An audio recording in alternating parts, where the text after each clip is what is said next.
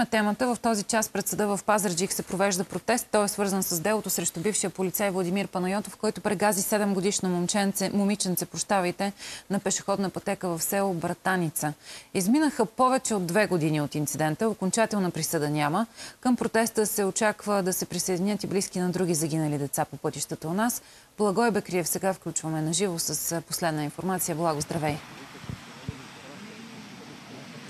Добър ден! Намираме се пред съдебната палата в Пазарджик. Две години и половина семейството на прегазената Моника се бори за справедливост. Трагедията се разигра през лятото на 2021 година, когато 7-годишната Моника пресичаше пешеходна пътека в центъра на село Братаница. Тогава тя бе прегазена и убита на място от полицай Владимир Панайотов със служебния автомобил. Делото мина през всички съдебни инстанции. Започна първо от окръжния съд в Пазарджик, мина през апелативния в в Пловдив, след това стигна до ВКС и отново сега се връща в началната си позиция в Пазарджик заради редица допуснати пропуски.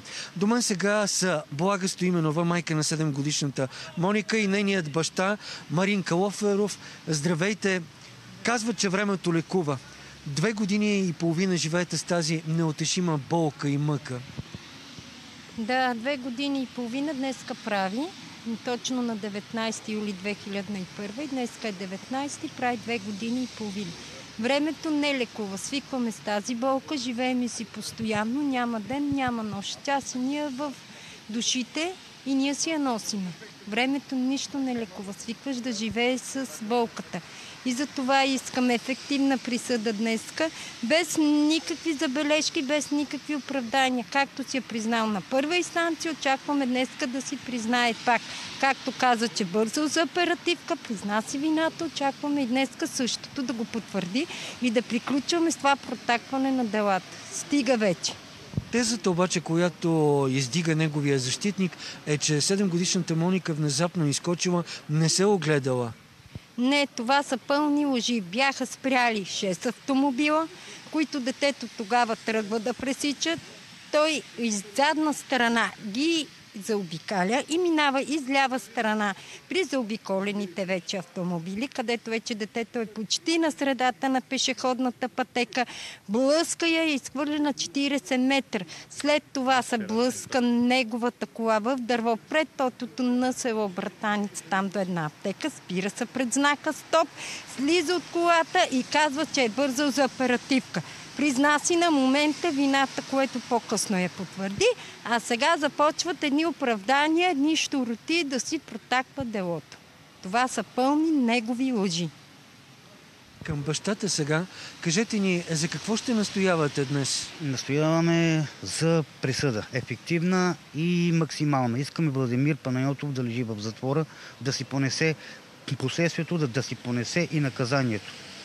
Първата инстанция му даде 4 години и 8 месеца затвор, след това присъдата стана а, от ефективна условна. Ми да, да за, защото така беше а, направено от съда. Те решиха, че ще му дадат условна и ще се размине и той ще, си, ще се седи в къщи. Към протеста тук се присъединиха и хора, чието деца също са загинали по пътищата. На страната Иван Спасов е организатора. Вие се борите и за законодателни промени. Докъде стигнаха те? Докъде стигна борбата ви? Значи това правителство направи много, променихме много неща, но трябва още доста неща да се променят трябва да има страх у джигитите на пътя, от другираните и пияните шофьори. Трябва да отпаднат всички условни присъди при убийство, особено на пешеходна пътека, при грубо неспазване на закона за движение по пътищата и при наркотици и алкохол. Задължително трябва да бъде затвор, лишаване от свобода и ефективна присъда. Благодаря ви. Началото на делото е точно в 10 часа. Оставаме на място, за да проследим съдебния процес. Благодарим ти, Благо, за тази информация. Следим в новините развоя на този случай. А сега, уважаеми зрители, отиваме към една реклама и след това ще погледнем към цените на петрола, които тръгнаха нагоре заради напрежението в Червено море.